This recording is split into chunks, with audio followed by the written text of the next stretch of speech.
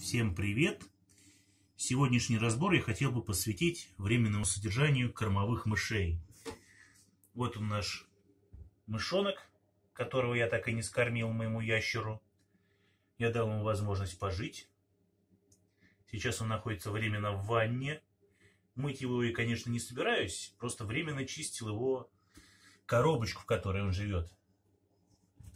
Так сказать, контейнер. Вот он достаточно резвый сбивает камеру, не дает на себе сфокусироваться.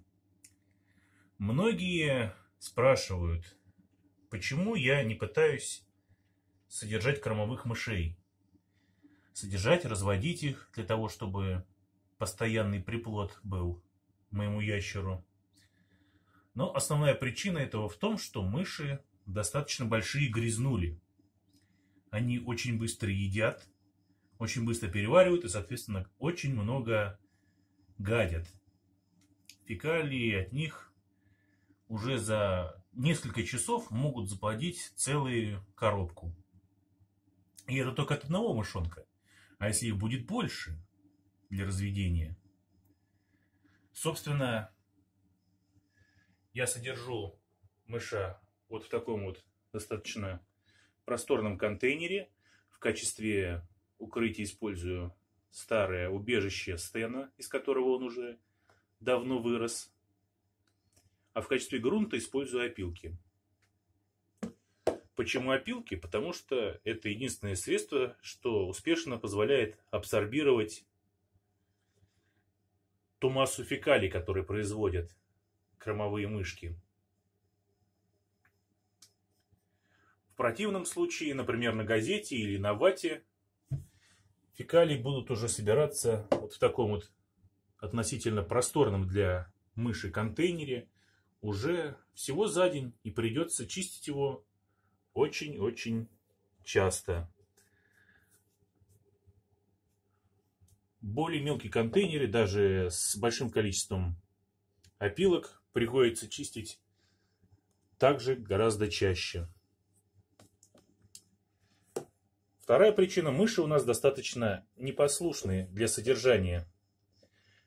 Даже если их положить сюда и обеспечить им необходимый корм, воду и так далее, они все будут подстраивать под себя. Например, мышь будет постоянно закапывать свою поилку, в которой осталась влага и вода, из которой ему нужно пить. Например, теми же самыми опилками. Утаскивать, либо опрокидывать различные коробочки, в которых я обычно в пробках даю ей корм. Кстати, насчет корма. Сейчас мы его и положим нашему мышонку. В качестве корма используется овсянка и немножко хлебушка. Я предпочитаю давать ему черный хлеб. Этого вполне достаточно для того, чтобы мышь жила и, соответственно, небольшую пробку воды. Этого также достаточно. В конце концов, этот мышонок уже через сутки буквально ее закопает. Она вся будет в опилках влажных. Ну и как результат, мне придется в конце дня все это убирать. То есть каждый день приходится возиться с мышью. Даже сотни сверчков не так доставляет неудобств, как мышонок. Всего один. А представьте, если этих мышей будет гораздо больше, скажем, четверо, пятеро, а то и мышиное семейство, несколько голов, десяток. Тут нужно будет несколько контейнеров, и убирать их придется в любом случае каждый день. Потому что в противном случае фекалии просто будут убивать мышек. Особенно мелких. Это у нас крупный мышонок, еще достаточно нечувствителен к большому количеству фекалий. А вот мелкие мышата, например, бегунки, которые попали на мой канал первыми, я снимал про них небольшое обзорное видео, они у меня умерли именно из-за того, что я их содержал. Вот в подобном контейнере, правда, меньшего размера, но также с достаточным количеством еды.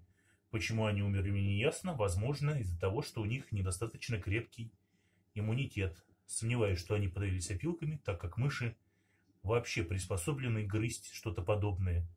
А раз уж мышь сумела сгрызть пластиковый контейнер, куда и что и опилки что ли повредят. Вот она тут мечется, хочет у себя побыть в замкнутом пространстве и не понимает, что же делать, что же делать, что же делать. Собственно, это основные причины, почему я не пытаюсь разводить мышей. Запах и большая вероятность того, что они погибнут от каких-нибудь болезней. Ну и плюс, если вы будете содержать их достаточно в недостаточно прочно запечатанном контейнере, они выберутся и могут доставить вам какие-нибудь неприятные сюрпризы. Еще повезет, если они не напугают вас до чертиков. Какую-нибудь девушку, выбравшуюся из контейнера мышь, наверняка бы привела в ужас. Собственно, о чистоплотности мыши можно судить по разбросанным вот этим вот темным пятнышкам в ванне. Это, собственно, фекалии. И она надела этих фекалий буквально за 20 минут, просто бегая по этой ванне. И она сделает еще больше, как покушает, собственно, в контейнере. Благо, опилки помогут абсорбировать запах и нечистоты.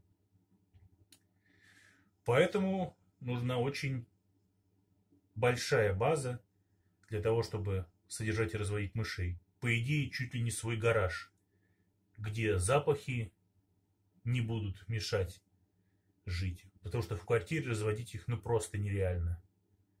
Ну и на этом мы закончим. Наш мышь не очень общительный, поэтому мы предоставим ему посидеть у себя дома. До новых встреч!